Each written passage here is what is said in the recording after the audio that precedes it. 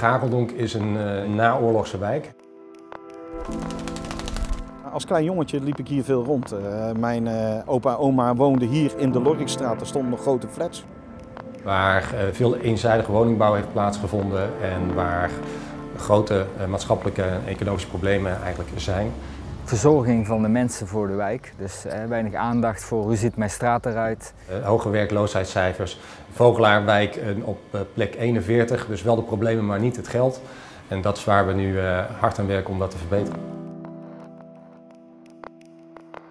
De opgave waar we hier aan wilden werken is dat we niet alleen in fysieke toestand gaan investeren, maar juist ook in die wijkeconomie en in sociaal-maatschappelijke elementen om duurzaam die wijk te verbeteren.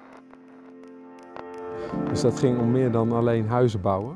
Hoe kunnen wij de leefbaarheid in de wijk nu zo hoog mogelijk opkrikken gedurende de tijd dat wij hier aanwezig zijn?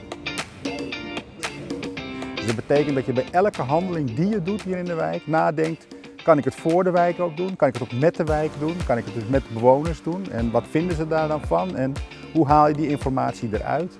Hoe pas je iets toe en wat voor strategie laat je daarop los?